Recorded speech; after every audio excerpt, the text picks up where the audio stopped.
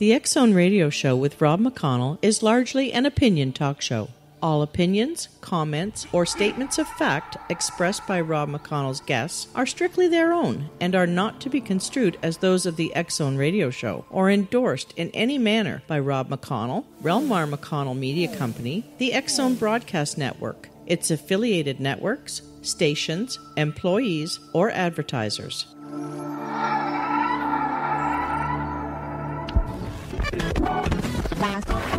All Hit Radio.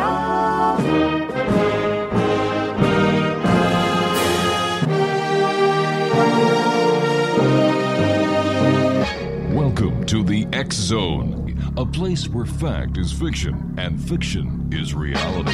Now, here's your host, Rob McConnell.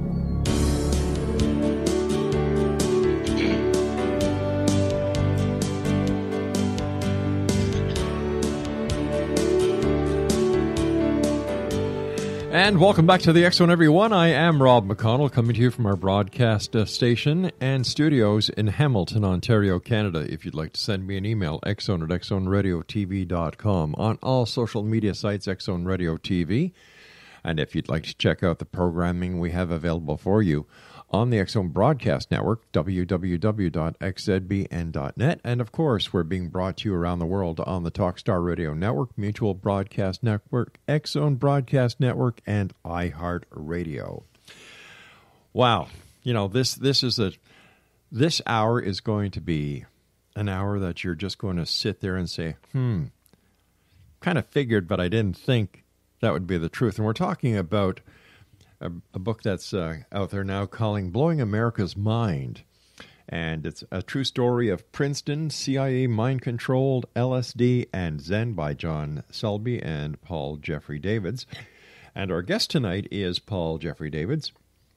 Um, he is a noted producer, writer, and director in Los Angeles, mainly of television films that have been released by Showtime Roswell, the UFO Cover Up, and NBC Universal International.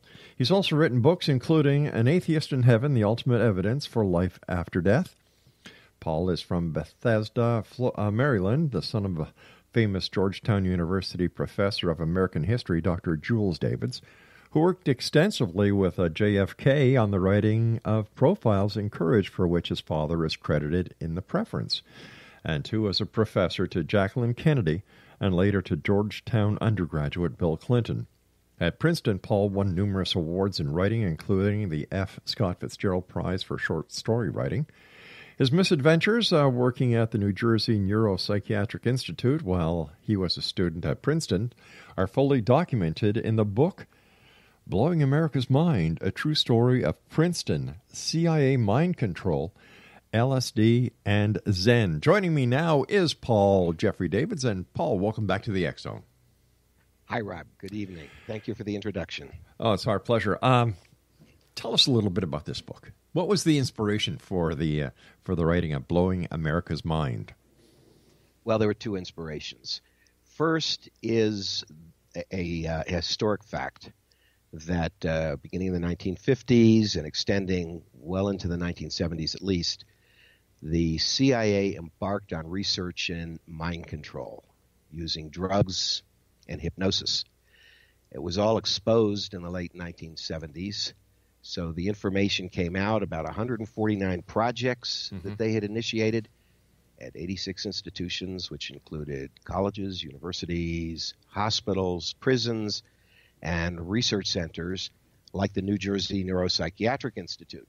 so that was a factual uh, historic basis. But the motivation, the reason that John Selby and I got together to write the book was that when we were students at Princeton in the late 1960s, and we were psychology majors, we both enlisted to work at the New Jersey Neuropsychiatric Institute in their research, which I was very naive at the time. Mm-hmm. I stumbled upon the ad for it on a kiosk on Nassau Street in Princeton it talked about needing subjects for deep hypnosis research. And I realized quickly that the head of the program, Dr. Humphry Osmond, was a very famous man in LSD research, in psychedelic research. And in fact, a little research will show you that Humphry Osmond coined the term psychedelic in the first place.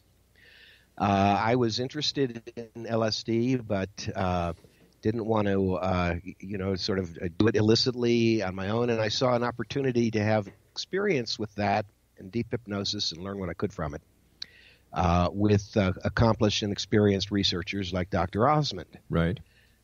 I signed up. John Selby had already been part of the program for a year. he was at a stage where they were making him a training hypnotist, and they were planning on taking him on as a full time hypnotist after he graduated. Uh, and uh, we knew nothing about the true purposes of the experiments, the fact that it was CIA funded, it was part of MK Ultra, Mhm. the fact that there was a darker uh, aspect and goal uh, to some aspects of the research, uh, completely naive. And the book that we wrote tells what it was like to be inside our skin at that time and be part of it. It, it, it gives you, it's a recreation, let's say, of the mental atmosphere of what it was like to be part of that. All male Princeton, undergraduate, New Jersey neuropsych, which was like uh, one flew over the cuckoo's nest for real. Right. And we wanted to write a book that wasn't like a dry nonfiction um, treatise about MK Ultra. That's not what it is. Although it has plenty of documentary support, articles, headlines, things like that. But we wanted to give you the subjective reality in novel-like form, but all true and based on what really happened. So you could feel what it was like to live through what we lived through, which was a once in a lifetime, extraordinary, not to be repeated experience. What was the ultimate goal of MK Ultra? Well, that's a big one because they had many goals, uh, Rob. Uh, on the one hand, uh, you have to realize MK Ultra grew out of the paranoia at around the time of the Korean War of uh, mind control. We all know the story of the Manchurian Candidate and the search for the perfect assassin. Yeah. Uh, but also, Russia was doing research at that time in mind control, even in remote viewing and psychic uses of mind control. And the CIA was not to be outdone. They started their own programs. Excuse me. These were expanded Mm-hmm. when we got to, I think, 1964, when Richard Helms took over the CIA. Uh, they had a list of about 140 drugs they were testing, sometimes on completely unsuspecting people. There are, there's documentation of them spraying LSD in a subway car see what would happen to the people. Um, but um, in um, in our case, well, oh, going back to the drugs, the research, they were looking for drugs that could be, for example, a perfect truth serum for interrogation. Could they find a drug that would make enemy soldiers lay down their weapons on the battlefield? You know, they, they found in testing LSD, and there's documentary footage on this from the Army, that soldiers given this wouldn't take orders. You know, a commanding officer Yep. would give an order. They're doing an experiment.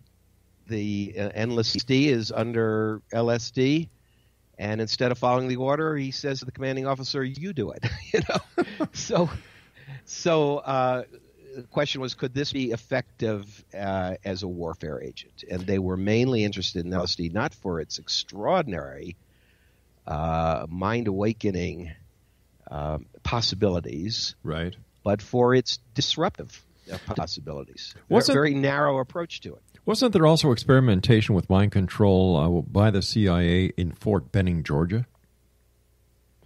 I can't speak to uh, Fort Benning, uh, Georgia, Okay. but I can speak to your hometown, Rob. You're, you're broadcasting out of Ontario, Yes, I am. Toronto. Uh, well, oh, wait, yeah- wait a minute, wait a minute. It's Montreal. McGill is in Montreal. Well, uh, let right? me let me tell you about McGill and the Allen Memorial Institute because I know this firsthand because my mother, God bless her, was a victim of MK Ultra. really okay. She went to the Allen Memorial Institute, which is part of the McGill University learning uh, learning schools, at the re- you know at the suggestion of her her family doctor for migraine headaches that she was getting. There, she met a Dr. Ewen Cameron, Cameron, yes, Yeah. yes.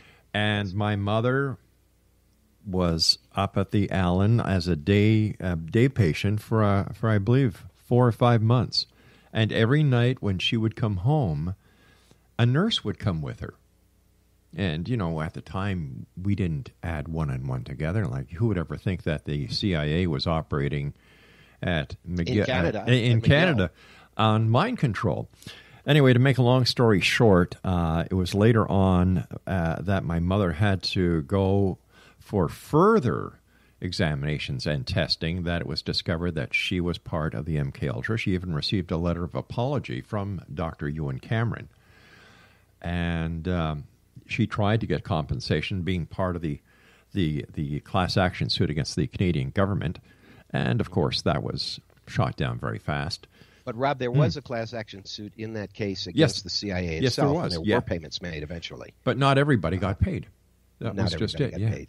Uh, you know, I, I'm looking at a list right here of Mhm. things that uh, Donald Cam- things that Donald Cameron did in that McGill University study, yeah. and um, people who came in with minor anxiety disorders, Mm-hmm. and it sounds like your mother may have been in that category. Um, he tried reprogramming them using electric shock, Yep. psychic driving, Mhm. which is like keeping somebody up forever and playing loud music in their ear the whole Yep. time, drug-induced comas, Mhm. and more. Dr. Cameron is, as uh, history records, one of the most notorious of the psychiatrists who was enlisted to participate in all of these uh, programs. Stand by, my friend. You and I have to take our first commercial break. Paul uh, Davids is our special guest at X Zone Nation. We're talking about Blowing America's Mind, a true story of Princeton, CIA, mind control, LSD, and Zen. The website is blowingamericasmind.com. This X Zone Nation, I know from personal experience, is fact. Definitely not fiction. We'll be back. Don't go away.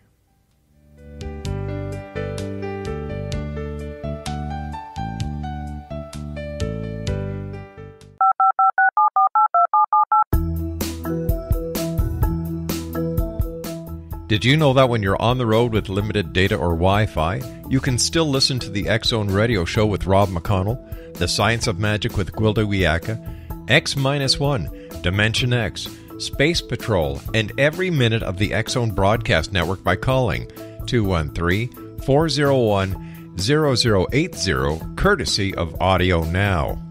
No smartphone, app, or internet needed. It saves your data plan and it's free if you have unlimited minutes.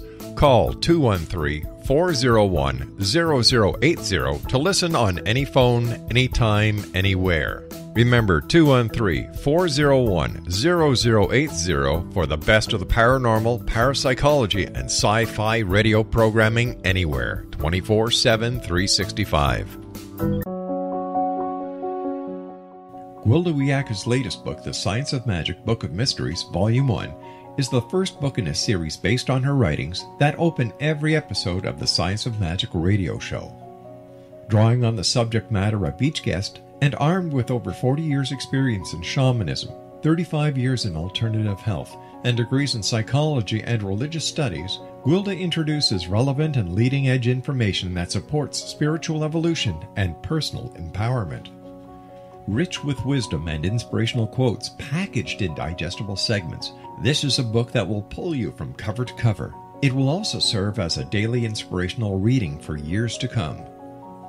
The Science of Magic Book of Mysteries, Volume 1, is available at our website, tsompublications.com, amazon.com, and wherever fine books are sold.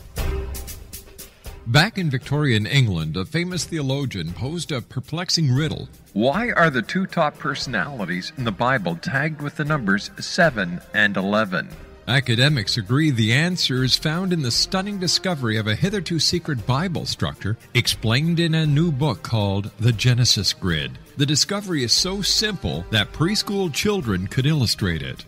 Certain claims are hugely controversial and may offend some, but at the X Zone, we've studied this awesome new book and agree with one expert, and I quote These discoveries appear to be beyond coincidence. So, who or what hid this wonderful pattern in the Bible, and what might they do next? Find out more, Zone Nation, and read reviews on www.genesisgrid.co.uk. That's www.genesisgrid.co.uk.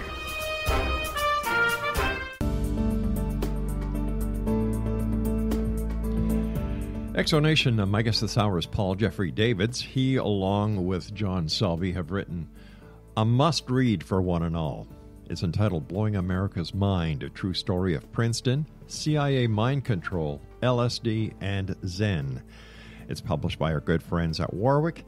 And if you'd like to find out more about our guest of this hour, Paul Jeffrey Davids or John Selby, or the book we're talking about, Blowing America's Mind, visit www.blowingamericasmind.com. All right, so tell me, um, how did how was MK Ultra discovered and exposed? It almost never was because Richard Helms, when Mhm. head of the CIA, had given the order to the man he had uh, appointed to head all these projects, Dr. Sidney Gottlieb, Right. had given the order that all the documents should be destroyed. We don't know why they weren't, because, uh, well, certainly Dr. Gottlieb wouldn't have had a motivation to disobey that order. Mhm. Um, but the fact is that about 10 years later, there were boxes discovered in Langley, Virginia, at the CIA headquarters, that uh, about 20 of them, as I recall, that uh, were marked as financial documents for some unrelated project not having to do with MK Ultra. And someone uh, going through these things uh, checked about it, and there were 20 boxes of documents about the MK Ultra program there that survived. Now, by the time this happened, Helms was out at the CIA, and uh, Jimmy Carter was president. He had Right. appointed Stansfield Turner as head of the CIA. So his new administration wants to wash their hands of everything that happened before. Uh, not their fault, of course, right? Of course. Um, and those whose fault it was, like Richard Helms, who was called before Congress to testify about things, including, I think, Iran Contra, and lied to Congress. He, you know, he, he was severely punished, uh, Rob, by Congress. They fined him fifteen hundred dollars, Ooh. and he was out. But um, under Stansfield Turner, the government decided to release that information about MK Ultra, and they notified the 86 institutions that had participated, many of them unknowingly. I mean, Georgetown University Hospital was one of them. Right. We have a headline on the back cover of our book, uh, Friday, August 26, 1977, from the New York Times saying CIA tells Columbia and Princeton universities of secret behavioral research. So, what are we to make from that? That many of these institutions didn't know that cooperation with the CIA was going on? the money was flowing to the researchers, uh, in many cases professors or doctors or psychiatrists, through dummy corporations that had been set up by the CIA. You know, nobody had a check saying they were paid by the CIA. Well, of course not. Uh, we found out that the project that we were guinea pigs in uh, was getting funding through. It was called the Society for the Study of Human Ecology. I don't know what that means. I don't think anybody knows what. The, somebody made up that name, but it was the paymaster. And this is where Dr. Humphry Osmond and uh, and his cohorts, such as Dr. Bernard Aaronson, were you know were getting the funding for research that they felt. I, I want to emphasize these were not evil people. They were not acting strictly under orders. They were continuing research in which they had particular interest, where they were trying to differentiate between the symptoms of schizophrenia, paranoia, in other words, madness, Right. And the the the symptoms, the effects of the psychedelic drugs. Psychedelic means mind manifesting. So you, I want you to understand these drugs were originally called psychotomimetic, mimicking psychosis. Excuse me. However, uh, Osmond felt that because he had ingested peyote with the um, Native American Church when he was a researcher up in Saskatchewan, Canada. He went from England to Saskatchewan and then came down to New Jersey to run the Bureau of Research of the New Jersey Neuropsychiatric Institute. Um, so he's interested in the differentiation between psychiatric illness and what happens to a person who's taken a psychedelic drug. And that was really the motivation behind the project that uh, John Selby and I had enlisted in. it used hypnosis. They called it uh, non drug analogs to the psychedelic state, meaning using hypnosis to alter a sense of reality, to give a hypnotic condition that changes your perception of the world, perhaps taking away depth perception or increasing it. Right. Or making time seem to flow faster or slower, or time stops, or you become six inches tall, and how do you perceive the environment around you? Do you withdraw into like a cocoon and in, in, in, in, a fetal position and behave like uh, a schizophrenic?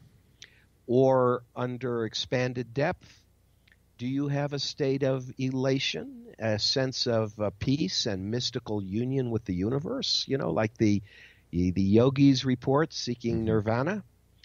This was what the thinking was that they were trying to sort out because it was the beginning of studies of psychedelics and not nearly as much was known about it then as now. It was also just before, I would say, the or right at the beginning of the massive distribution uh, throughout the country of LSD to, um, uh, you know, uh, what became the hippie movement. Yeah. And uh, you had Ken Kesey and the Merry Pranksters giving LSD to thousands of people in cities across the country.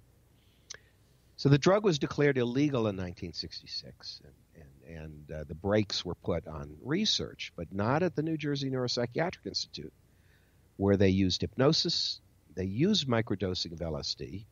Sometimes it would be a placebo. You might, a subject might think that he's under a psychedelic drug and he was given nothing. Uh, this was the study. Now, where we ran into trouble, and this is all in blowing America's mind because we, starting right after we got out of the program, we began recreating, documenting it all wanting to have a book one day, but that was just the beginning of it way back then. It took us four decades to finish. We um, we we ran into trouble through the hypnotic conditions where they erased your memory of what happened during the session. Oh. It could have been a session. excuse my cough. Sure. Could have been a session that lasted uh, three, four, or five hours. My heavens! And they uh, would they would train you in hypnosis for such a period of time with both a trigger word to get into the relaxed state and begin to go into a trance. Mm-hmm. And they would train you to go into deeper and deeper trances. You know, if you really deep trance, hypnosis can be used as an anesthetic. They could surgically operate on somebody when it's used effectively. Right. And this was deep hypnosis and they could block your memory of what happened. You'd wake up, you'd be brought out of the trance, you wouldn't remember what happened in the last four or five hours. They promised to restore memory of all of these things. That was part of the problem. They didn't. Uh, some of them they did, but particularly with John Selby, he began to panic because he was sure that they never erased all these conditions. He was seeing things happening in his life at the university uh, he was a champion fencer. Uh, it was affecting his fencing. It was affecting his love relationship, which you'll read about in the book. And um, when they assigned him to be my training hypnotist, there's one chapter in the book where I'm put under hypnosis and he has a panic attack. Uh, he, he starts having remembering one of the conditions uh, of of being turned into a bird and told to fly away. And while he was gone in the body of a bird, there were uh, hypnotic conditions which changed his personality and his sense of reality, and blocked a lot of his memories of his past, which just became wiped out. And he was sure that the condition was never erased, so he leaves me sleeping in the hypnosis room, and he runs upstairs in panic to Dr. Aaronson uh, saying you never erase that condition. You never erase that condition. He was in a state, as I say, one flew over the cuckoo's nest mm-hmm.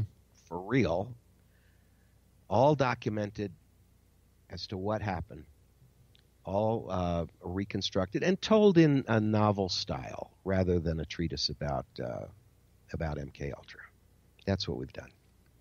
How can the CIA conduct experimentation within the borders of the United States when it is strictly forbidden to do that? It is forbidden. It, this was it's had to be an illegal uh, program, and that's why it was made. Uh, not it was not only top secret, but it mm-hmm. was untraceable because uh, uh, the way the uh, movement of the money was hidden. Yeah. And uh, perhaps some of the uh, researchers didn't know where the money was coming from. That's possible in some cases. Um, you know, they had research grants that were approved yeah. of things that the CIA was interested in that fit into this. Uh, and you know, the CIA was also intimately involved in the remote viewing projects at Stanford University, considerably less dark. Right. And Jimmy Carter said that those research uh, experiments bore fruit. Mm-hmm. That there were uh, cases where, through remote viewing, uh, a downed plane in Africa that couldn't be located by any other means was located by a remote viewer. Jimmy Carter, you can find yep. the uh, you know the documentary footage of him uh, saying that. Jeffrey, so, please stand by, my friend. I hate to cut you off. This is a very, very right. important topic, and we'll get right back to it. Jeffrey Davids is our special guest this hour, X Zone Nation. He, along with um, John Selby, have written, uh, in my opinion, a blockbuster book. Blowing America's Mind, a true story of Princeton, CIA mind control, LSD, and Zen. And his website is www.blowingamericasmind.com. We'll be back on the other side of this break. Don't go away.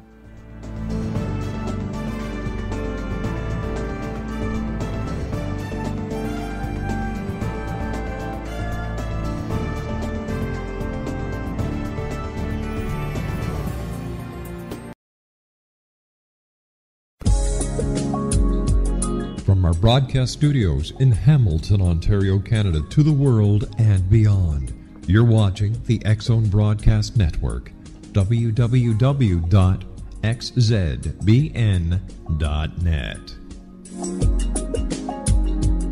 AVS Media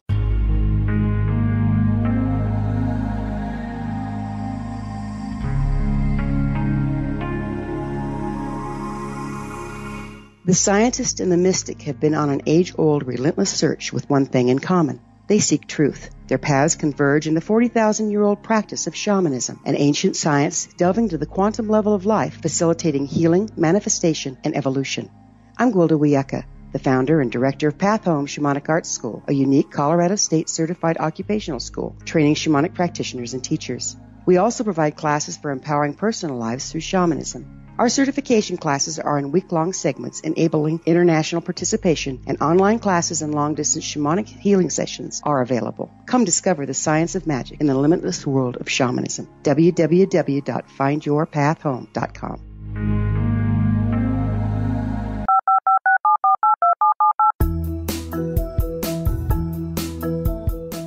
Did you know that when you're on the road with limited data or Wi Fi, you can still listen to the Zone radio show with Rob McConnell, The Science of Magic with Gwilda Wiyaka, X 1, Dimension X, Space Patrol, and every minute of the Zone broadcast network by calling 213 401 0080, courtesy of Audio Now.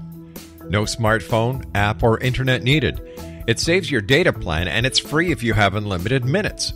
Call 213 401 0080 to listen on any phone, anytime, anywhere. Remember 213 401 0080 for the best of the paranormal, parapsychology, and sci fi radio programming anywhere 24 7 365.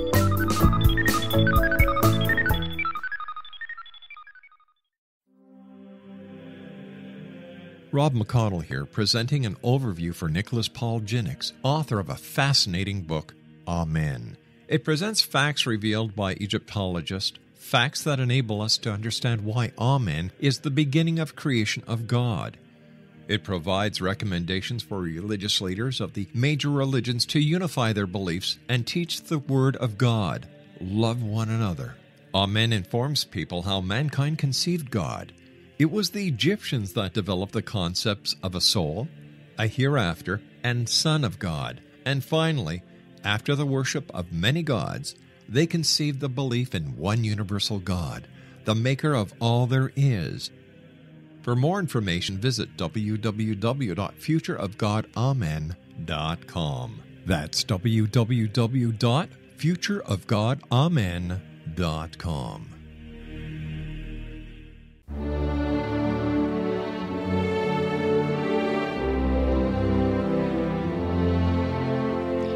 Welcome back, everyone. Uh, we're talking about blowing America's mind. It's a great new book. It's um, it's a, ta- a true story of Princeton, CIA mind control, LSD, and Zen. The book is written by John Selby and our guest this hour, Paul Jeffrey Davids.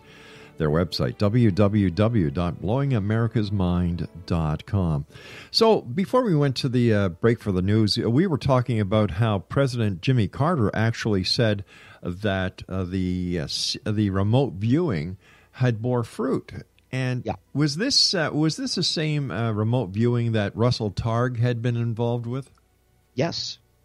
Yes. You probably know the names of some of the other uh, main uh, remote viewers in that uh, Stanford uh, program. Escapes my mind Yeah. at the moment, but uh, that that was part of this. Hmm. And I, I'm, I'm sure that Jimmy Carter made that statement, uh, you know, when he was an ex-president. Yeah.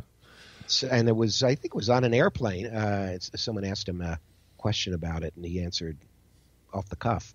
It was very interesting, and I'm sure that, I mean, I suppose that there was a lot of helpful information gleaned from these studies, Right. uh, even though they had a dark side.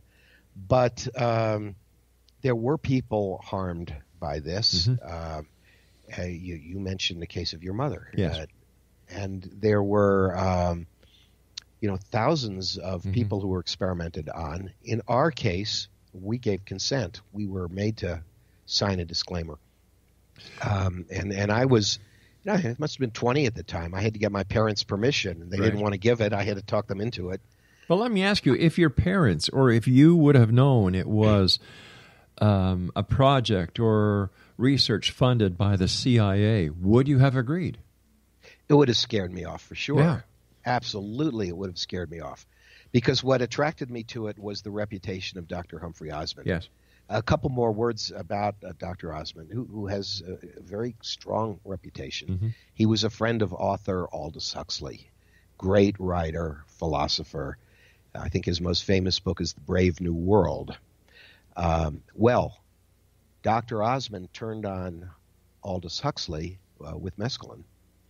And from that experience, which was a very positive one for Aldous Huxley, as Osmond guided him, uh, Huxley wrote the book, uh, The Doors of Perception, which is the best accounting we have of a psychedelic uh, experience I think that anybody has, has, has written because he had a profound uh, experience that, in fact, in, in, influenced him his whole life. He later took LSD, and in fact, Timothy Leary told me when I, I made a film about Timothy Leary that uh, Aldous Huxley, uh, when he was dying, asked for LSD, so he would go out under LSD, and that's what happened. He was given it by his wife. Um, so that you know, Osmond having that background, those associations, friend of Timothy Leary when he was a professor at Harvard, I think. Then Leary was fired, Yeah. but um, I was drawn to be in the program, and the, everyone I've talked to about it has asked me, "Well, you know, do you have regrets? Uh, was uh, you know, do you wish you'd never done it?" And I always say it was a, a two-edged sword. There was a dark side to it because some of those hypnotic conditions uh, did induce, uh, you know, a terrible uh, state of mind, Mhm. which which uh, which which was akin to like uh, split personality schizophrenia, dark things, and and, and and a negative psychic state, psychological state. Uh, there were the positive experiences. Uh, Some of the experiences, you know, that I had with LSD then were extremely profound. Such as? And well, I, well, I had experiences like those that uh, Aldous Huxley had described for mescaline in the Doors of Perception. Hmm. By the way, that's where Jim Morrison got the the name for his band, The Doors. It's from that book. You know, he read that book. Uh, he was uh, promoting the psychedelics then. The Beatles were. Um, it was sweeping across the country. So no, I had some good experiences. I had some bad experiences, but the, I think the the most positive thing about it, one of the reasons I don't regret it, is I was headed on the wrong path for me at that time for my future. I was a psychology major mm-hmm. and I was pre med. I was wanting to become a psychiatrist. I wanted to be the next Humphry Osmond at that time. I was not cut out to be the next Humphry Osmond. And I had another passion in my life that started when I was in elementary school, and that was making movies, specifically special effects films. I mean, when I was a kid, I started making my own monster movies, horror movies, science fiction, eight millimeter, silent, animation, stop motion, dragons, dinosaurs, uh, building robots. My friends and I, particularly a friend named Jeff Tinsley, you know, we made 30, 40 of these little movies, which we still have. They were some of them were incorporated into my my film released by Universal called The Sci-Fi Boys that Peter Jackson helped me with. But that's really what I wanted to do in life. I wanted to make movies, but I was discouraged from that by everyone in the straight world in which I grew up, uh, where you know the advice was get yourself a stable profession. Mm. You never know if there's going to be another uh, depression. Yeah. Choose being a doctor, a lawyer, a professor, a teacher, work for the government. Don't think of going to Hollywood and immersing yourself in a world where you have no contacts or, or no relatives. You won't benefit from nepotism. But I rebelled against all that. You know, when you're a hypnotic subject in a situation like this, you are, for a certain number of hours, you're under the control of other people who are manipulating you. And with both John Selby and I, there came a point in our relationship with the Institute where we really rebelled against this manipulation and control. And we had to fight to keep our own center and our own identity and we each broke with the Institute at different times. It's part of the story in Blowing America's Mind. He broke first and warned me I should get out of the program. It was causing all kinds of problems for him. I didn't listen to him. I stayed on. It took me, you know, another six or eight months to come around to uh, his way of thinking and leave the institute. And when I asserted myself uh, that way, I, I felt, you know, I didn't want anybody to control me. I don't want to be controlled by my parents or my peer group or you know the community I grew up in. I got right. one life to live. I want to work in the movies. And so it gave me the strength to go through that whole process, and that's what I did. I, I was accepted at the American Film Institute Center for Advanced Film Studies, one of their first 15 students, unfellowship, uh, at the Doheny Mansion in Beverly Hills. I went from Princeton – to Beverly Hills to study film under fantastically favorable circumstances. I found the doors of Hollywood after a few years opened up to me. I've had a long career. I've directed and produced about 10 films. They've been shown around the world, mainly television through NBC Universal. You know, I produced, uh, executive producer of Showtime for Roswell. Yeah. A lot of people don't know that I was one of the key guys that started the Transformers. Uh, the Transformers started as cartoons. Yes. From Marvel. Yeah. Well, I was the exec. I, I was the production coordinator at Marvel for 79 episodes. Hmm. 79 half hours have my name blazoned across the TV screen. And I wrote a lot of those. So I was at Marvel. I worked on Lie Detector for F. Bailey, you know, where I met Betty Hill and psychic Dorothy Allison. Uh, and then I got a contract from George Lucas to write six of the Star Wars sequel books with my wife. We, we, we wrote The Glove of Darth Vader all the way through Prophets of the Dark Side, sold millions of copies. And then I started making all these movies about different subjects I was intensely interested in, you know, from Jesus in India and the sci fi boys and I'm an artist. Van Gogh interested me passionately, so I, I, I, did Starry Night, and I mentioned the biography of Timothy Leary called Timothy Leary's Dead. It played in Toronto, huge success at the Toronto Film Festival. And I had that relationship with Timothy Leary because I'd worked with Humphry Osmond. You know, I, I approached him. I was advised by his publisher he, that Timothy was dying, 1995. He had cancer. No one had made a story of his life. I went to him. I found the the the funding, mm-hmm. and uh, we made that film about the life of Timothy Leary.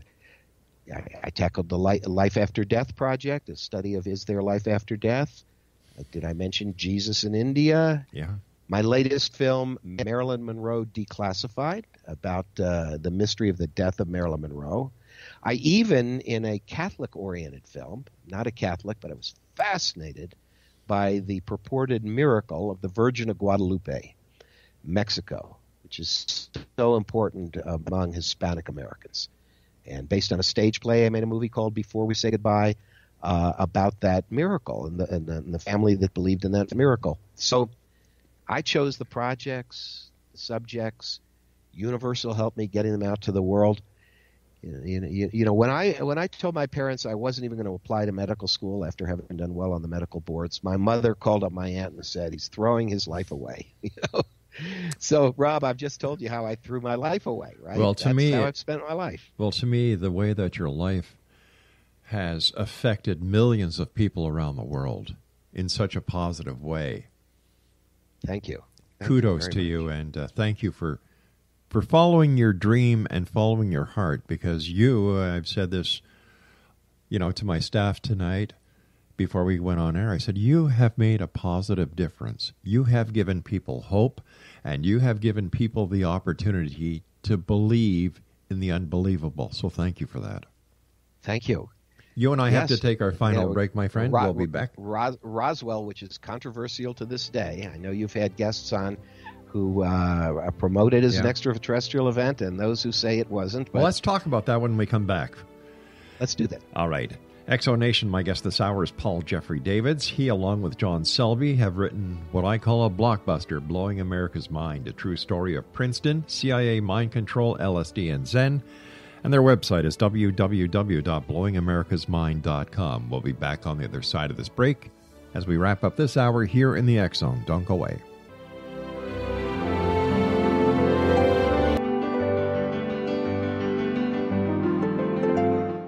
Named one of the world's greatest psychics, Elizabeth Joyce is now giving readings worldwide via Skype.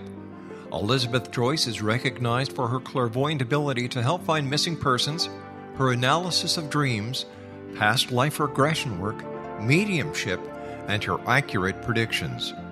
Elizabeth has been a frequent guest on the Zone radio show with yours truly, Rob McConnell, now for several years.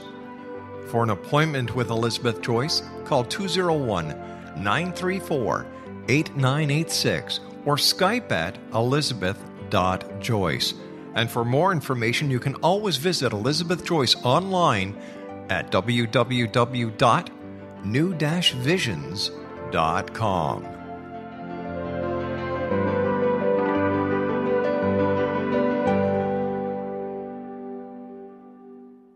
The new nonfiction book, Razor of Madness, is similar to cult movies like Clockwork Orange, Dragon's Tattoo, or The Other Side of Hell. Wayne Morin Jr. and Thomas Lee Howe will expose widespread and systematic deficiencies in this thought provoking tell all novel. Mind control rages among scholars and law schools. Human rights are ignored while thought reform and mental manipulation are accepted practices used as behavior modification. Dr. Louis Jolyon West comes to mind.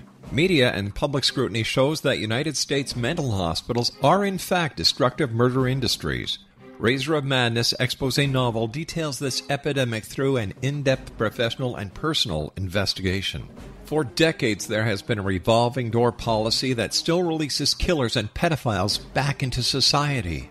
The maestro of mind control continues to haunt America to this very day. Razor of Madness is available in paperback or as a downloadable ebook at Amazon.com.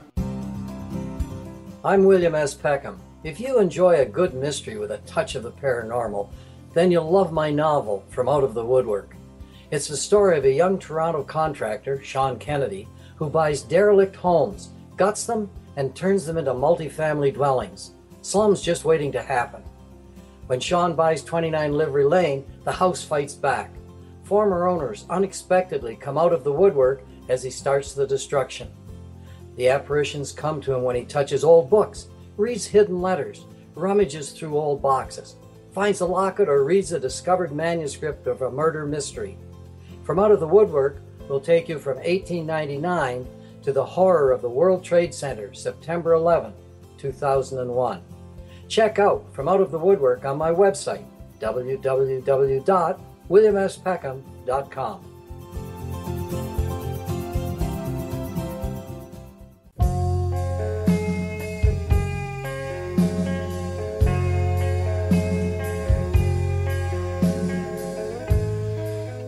X Zone Nation Paul Jeffrey Davids is my guest. He, along with John Selby, have written Blowing America's Mind, a true story of Princeton, CIA mind control, LSD, and Zen. The website is www.blowingamericasmind.com.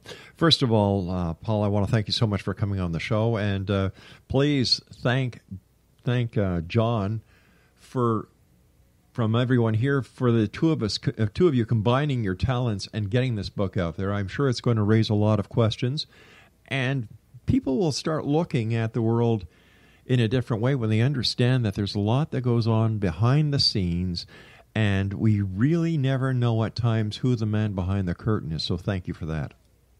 Thank you. And before we go back to the Mhm. subject that you wanted to raise, uh, you mentioned Roswell, Yeah. but I wanted to say about John Selby that uh, he became a very accomplished uh, writer, um, published so many times.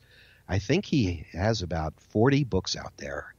And uh, the, he has uh, written uh, uh, self help books, popular psychology, books of philosophy, Seven Masters, One Path, which I think came from Harper's, is one of his his books.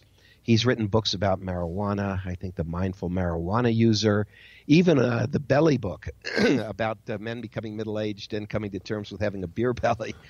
Uh, so he's been very prolific. Also writes mystery stories, adventure stories. Wrote PowerPoint book for uh, Warner Brothers. So, uh, and he's had a life of adventure. He's been in, in Germany where he ran psychological programs, uh, South Africa. He lived for many years on the island of Kauai. Now he lives near Silicon Valley. So we we lost touch through some of the years, but always got back in touch. And this book was always the unfinished manuscript, sitting in a drawer, gathering dust that we couldn't quite bring ourselves to put out, Rob, because we were both having very successful independent careers. I was doing my movies, life was going well. Uh, you know, I wasn't, uh, I didn't have the kind of concerns in my life that writing this book about the CIA's mind control could bring to me.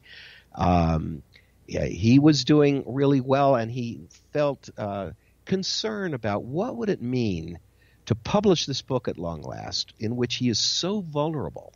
I mean, you just see inside the guy of the. If, if those of you who grew up, I don't know, with with with having to read The Catcher in the Rye by J.D. Salinger, you know, you got to know Holden Caulfield so well, everything about him, and that, John Selby does that in this book for who he was at that time. He was a misfit at Princeton.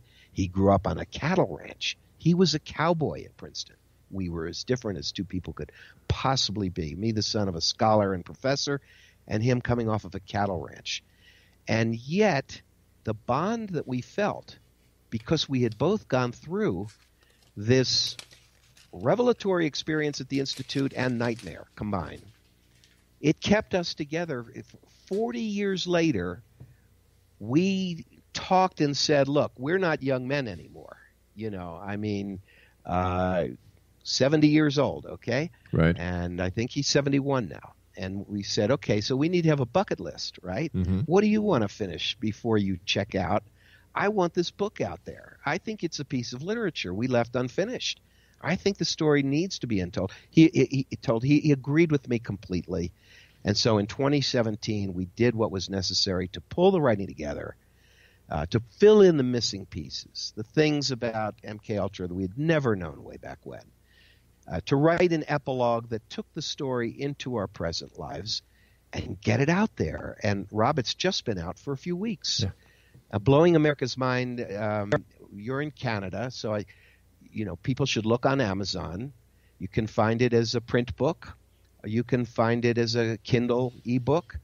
If you have other ebook readers, you know, you can find those too in other formats from Barnes and Noble and other people that put out ebooks. It's widely out there now if you look for it, and it's it's It just come out. So it's a fulfillment of like a 40 plus year project for us. I understand. And uh, that's that's that's how it came about. One quick question: um, Is LSD going to make a comeback, especially now with all the different laws and regulations that are being? I don't know what the law is anymore with Donald uh, with uh, Jeff Sessions changing what uh, President Obama did to the different states that have legalized it for medical use or recreational use. But in your opinion, is LSD going to make a comeback?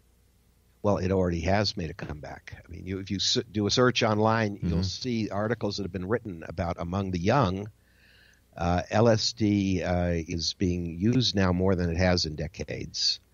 Um, you know, people working in in industry, uh, particularly in Silicon Valley, you know, are microdosing themselves with LSD as an aid to their work. Hmm. Uh, in fact, uh, Steve Jobs uh, you know, has uh, been very, very clear that his experience with LSD was one of the pivotal things that he said awakened him in a way that he was able to uh, conceive of technological things and also the kind of design things that he contributed uh, to Apple. And Steve Wozniak, I think, seconded mm-hmm. that, you know, computer inventor.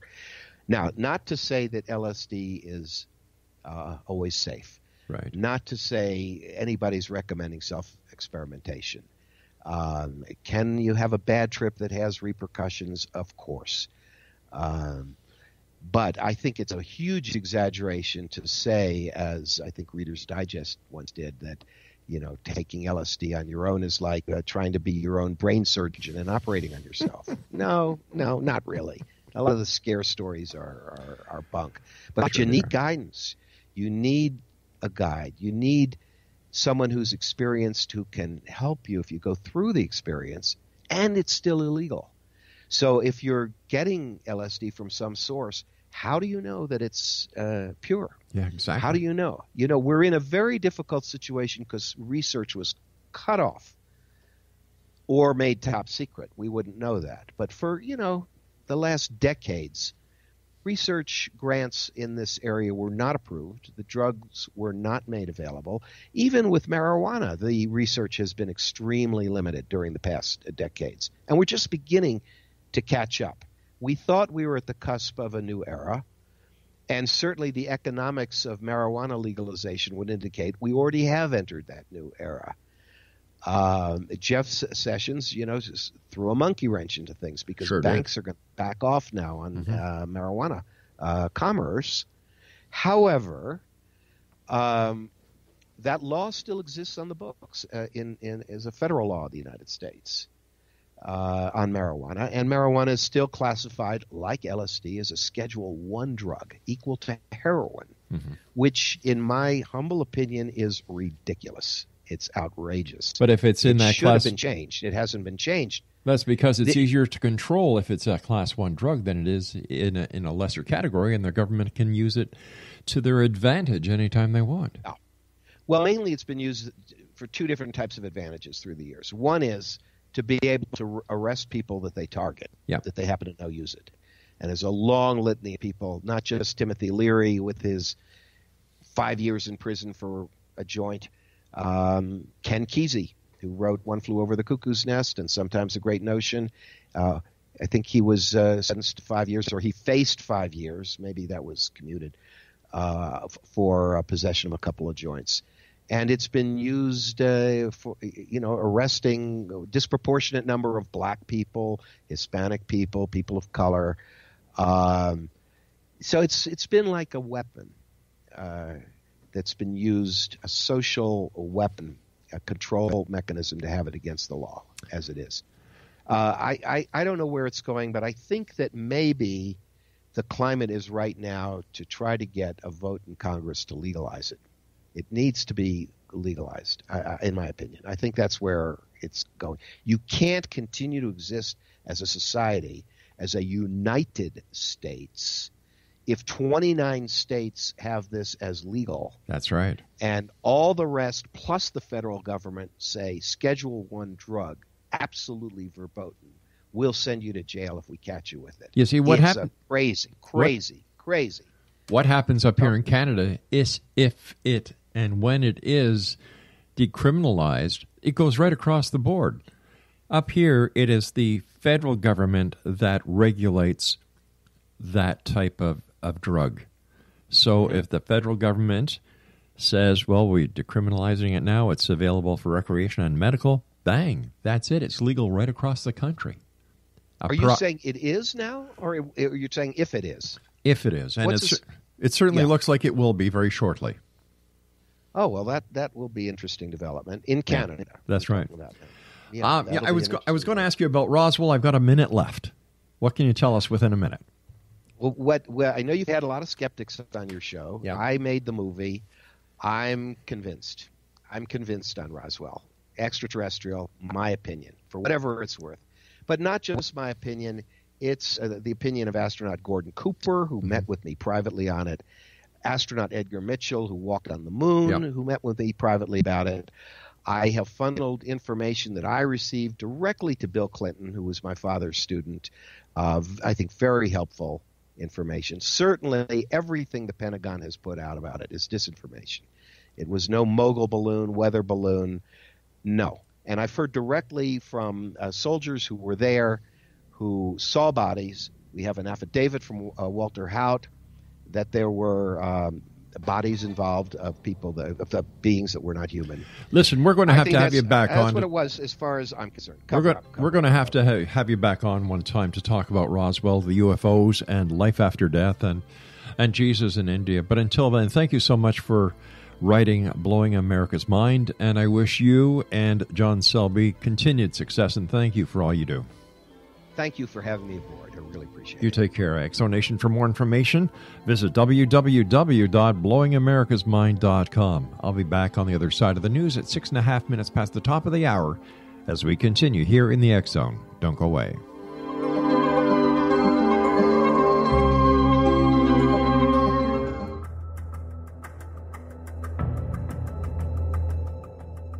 Modern Esoteric, Beyond Our Senses by Brad Olson, consummates the lifeology story about where humanity originates. It is the lost continents, the primitive wisdom, the mythos of creation, and the rethinking of ancient history as we are taught in academia. There is much more to the story than what we have been told. As this is the first book in the Esoteric series, Modern Esoteric starts at the beginning of time and accelerates up to this modern age. Future Esoteric is book two in the series and takes a forward looking position ahead of today with an open and honest examination of the ET issue and various unexplained phenomena. To discover the writings of author Brad Olson, visit www.bradolson.com. That's www.bradolson.com.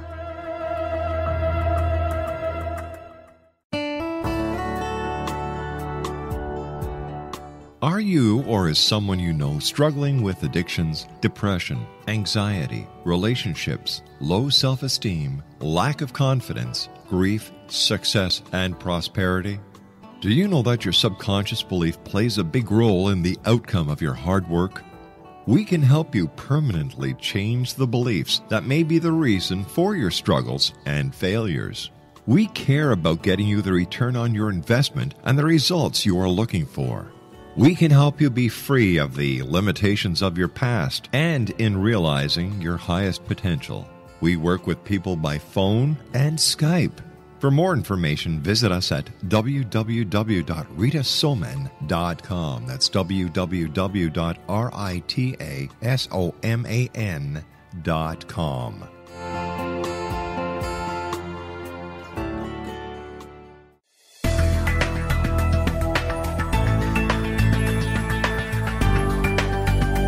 Do you think you have energy problems in your home?